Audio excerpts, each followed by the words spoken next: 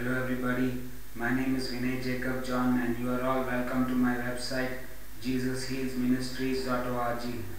Happy Independence Day for everybody here in Bangalore City, Karnataka, India and around the world.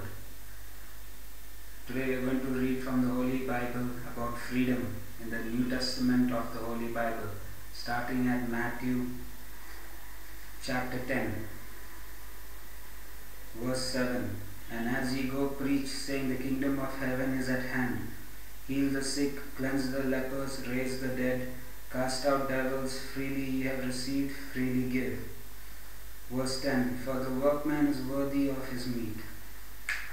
Also, let's turn to John chapter 8, verse 31. Then said Jesus to those Jews which believed on him, If ye continue in my word, then are ye my disciples indeed, and ye shall know the truth, and the truth shall make you free. Verse 36 If the Son, Jesus Christ of Nazareth, therefore shall make you free, ye shall be free indeed. Romans chapter 8, verse 32 Our Lord God Jehovah spared not Jehovah's own Son, Jesus Christ of Nazareth, but delivered Jesus up for us all. How shall our Lord God Jehovah Jireh, provider of Jesus Christ of Nazareth, with him also give, freely give us all things? Let's also turn to book of Revelation, chapter 21, verse 6. And he said unto me, It is done. I am Alpha and Omega, the beginning and the end.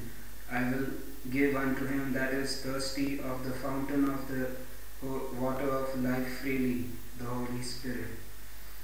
Revelation chapter 22, verse 17. And the Holy Spirit and the bride of Jesus Christ of Nazareth say, Come.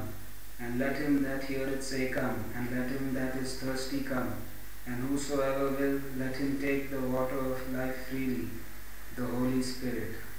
In the name of Jesus Christ of Nazareth. Thank you everybody for visiting my website jesushealsministries.org.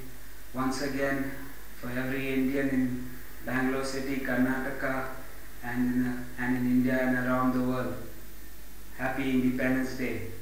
In the name of Jesus Christ of Nazareth.